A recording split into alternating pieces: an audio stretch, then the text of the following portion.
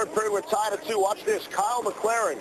You want to get good seats at the hockey game? Stay away from the glass. Checks Bryan Smolinski, Shatter City. Now you're going to see the uh, goodwill of the NHL players. Smolinski goes over there, makes sure this little guy isn't hurt, telling him not to rub his head because the glass will cut this. NHL players are equipped with first aid, humanitarians. What a bunch of great athletes. They're taking care of that guy right by the boards there. Overtime. The Islanders push it. Robert Reichel.